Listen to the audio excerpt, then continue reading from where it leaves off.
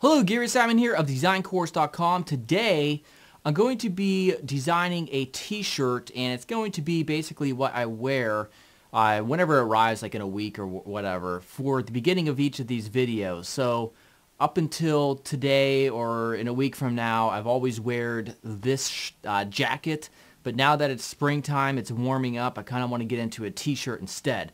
So I'm going to take a different approach to this uh, Circle A. It's going to actually uh, it kind of makes more sense to uh, switch to the design course lettermark. So that's what I'm going to be doing today in Adobe Illustrator. And I'm also going to uh, use a site uh, for printing t-shirts and other stuff at Zazzle.com. Uh, and so we'll go ahead and play around with that as well. All right, so there's no project files really. Oh wait, yeah, yeah, there is because if you want to follow along, I'm not sure why you would want to use this logo to print your own design course shirt. You probably don't. You don't care, but uh, I will make that available. The design course lettermark logo, uh, so you can get that at designcourse.com. And yeah, check out designcourse.com if you haven't yet, and subscribe here at YouTube. All right, let's get started. All right, so I have Adobe Illustrator open up here along with the designcourse.com lettermark logo, and basically, instead of just using the logo itself, putting it on a shirt, you know, I decided to take maybe just a step further um, and just to do something interesting with it. So uh, I'm going to include this as the project files that you can download at designcourse.com uh, if you want to follow along. So I'm going to go ahead to File, New, and I already have it set here. My width and height, 17.9 inches by 19 inches. So make sure your units is set to inches and you can just specify that information. That's kind of a standard t-shirt size for some uh, of the print uh, or t-shirt printing places. So I also make sure CMYK here, we'll hit OK. And what I want to do is come over here, copy that, Control C, close that out, and then we'll paste it in. All right, so I want to make the background black, so I'm just going to take the rectangle tool and we're not going to include the black background obviously when we save this, but just to give us an idea of what it might look like on the shirt. So I'm just going to drag that down there and make it black and then also lock the layer so we can't select it anymore.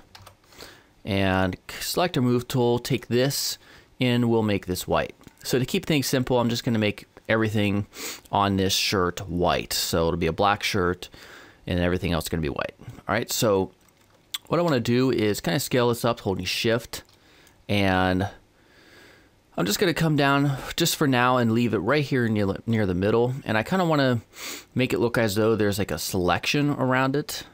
Kind of just like this or in Photoshop or whatever. You kind of have like the marching ants, I guess you call them. Uh, so what we can do is take the rectangle tool and try to create a square around it. If you hold shift, it won't work because the logo itself isn't uh, a square proportionally. So we'll just drag and try to eyeball it right around there.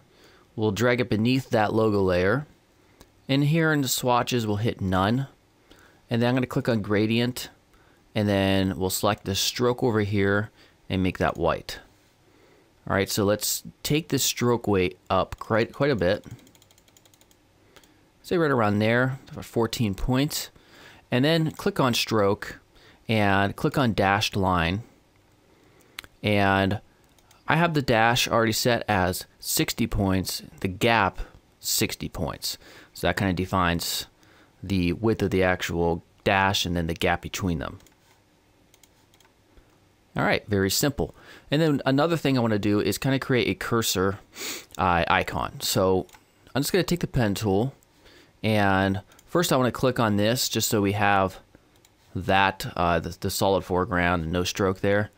And then I'm going to just click anywhere around here and then click, yeah, straight down, just hold shift and left click and then up right around here and connect them. All right, and then I want to take the rectangle tool and just drag down roughly around there. And I'm going to rotate that with the move tool and try to get it situated so it looks pretty correct in terms of this width and that.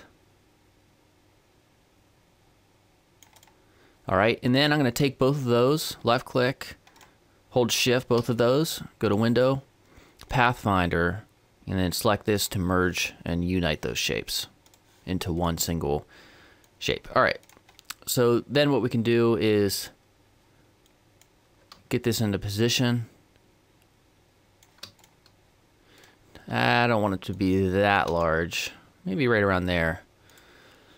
And then one final thing, I'm going to take the rectangle tool and right around here, left click and drag.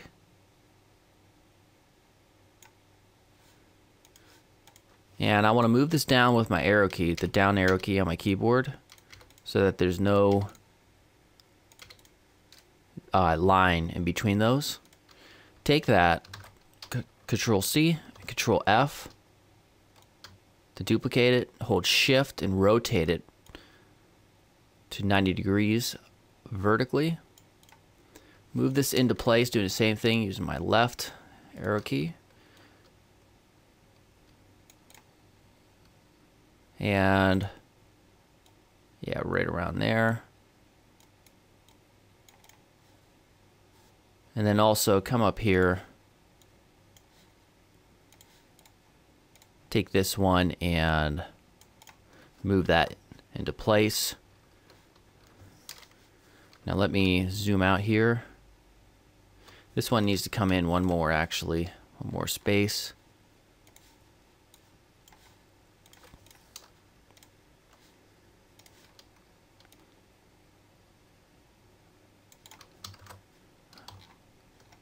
All right, and so that is it. So it kind of makes it look like uh, we're pulling this off a section or something of the canvas or something, and that will be basically the t-shirt uh, t-shirt design.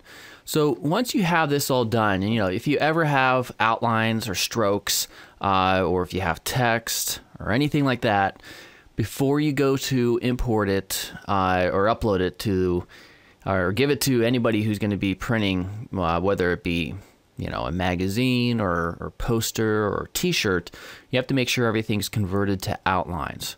So what that means is if we select this, you know, we still have the option of editing the stroke. So that's not converted to an outline. So what you would do is take that. What I like to do is just select everything just to be safe and go to edit. No, go to object, path, and outline stroke. And it's also good to take everything as well, object, expand. Now we make sure everything is now an outline. So you can't really edit the stroke anymore because it's been converted to outlines. All right. Okay, so now what we want to do is take this and just scale it up a little bit.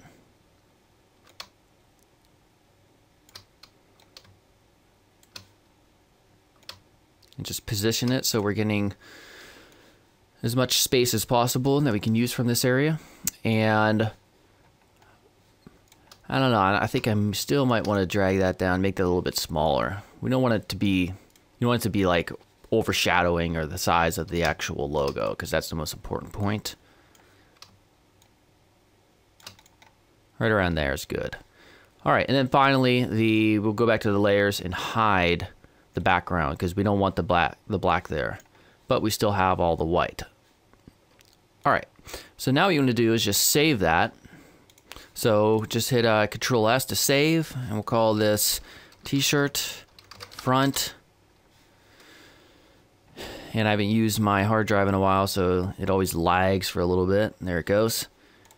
Save that hit OK. And if you wanted to do a back you could do a back as well. I'm not going to really bother with it uh, so now what we want to do is, you know, this is depends on whoever you you want to use for your t-shirt printing service. So uh, if I come out over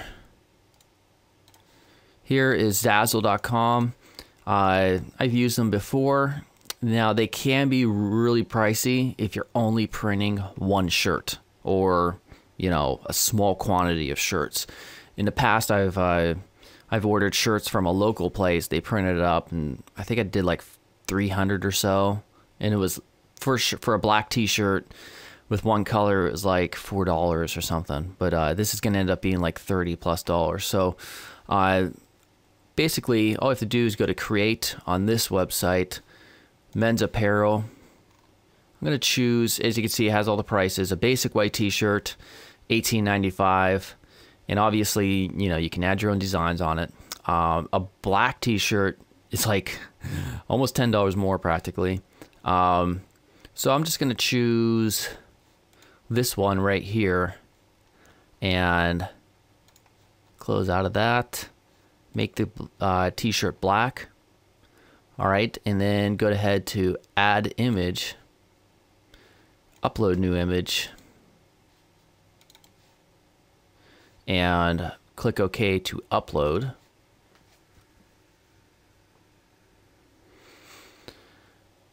And it should place it onto the t-shirt.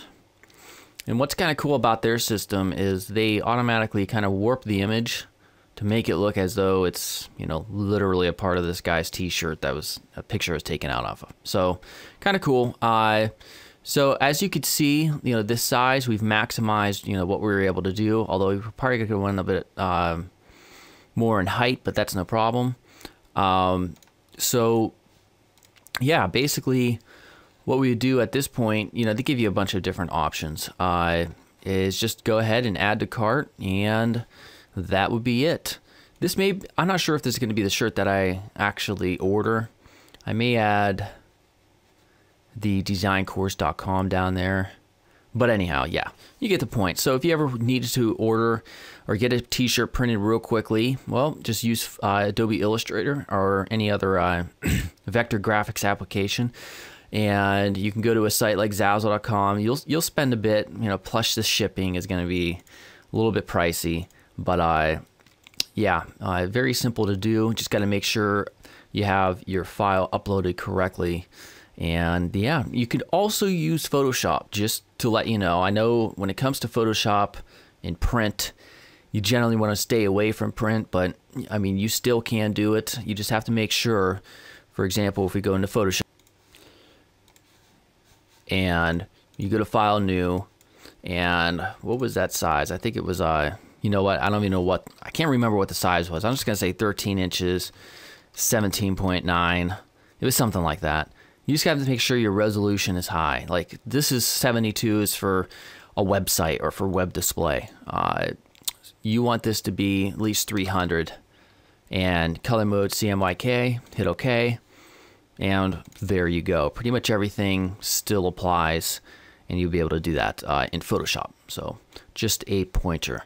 All right, so uh, probably when I order this up, it'll be ready. Maybe it might be here in a week or so, and then I'll start wearing that instead of the jacket as it's getting hotter outside. All right, so I will see you tomorrow with a new tutorial. If you haven't yet, check out designcourse.com and subscribe here at YouTube.